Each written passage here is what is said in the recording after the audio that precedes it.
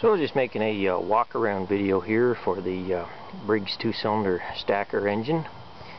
Uh, show you the various components and things here. There's a fancy homemade gas tank there. My buddy at AC/DC Welding welded that up. And uh, you can see my uh, Galby uh, weld job on the brackets there. I, I made the brackets for it. Needless to say, I can't weld anywhere as near as good as he can carburetor's not looking too good. That's off a 7 horse Tecumseh.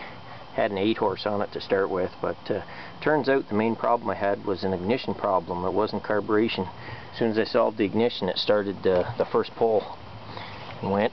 Get your intake manifold here in gray, feeding the, uh, the two cylinders there.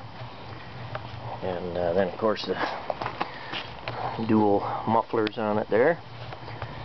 And uh, the starter cover there, uh, it's actually painted uh, 1972 Volkswagen bright orange and uh, had that can around for a long time but uh, I did it in honor of uh, I'm not quite sure of his channel name XOXX something something but uh, of his Volkswood um, Volkswagen Beetle and he's running on wood gas.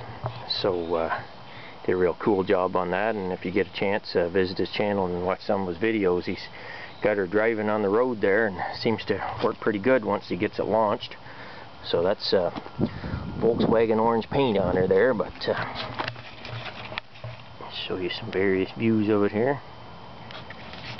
So it's been quite a project. Like I say the, the spark issue there had me had me uh, going in circles on it trying to get it going but she she runs good now, starts the first pull, so can't complain too much. Anyway, yeah, that's pretty much it for the, the walk around of the Briggs 2 stacker engine. So uh, thanks for watching, I appreciate it, and uh, I got uh, lots more engines planned in the future.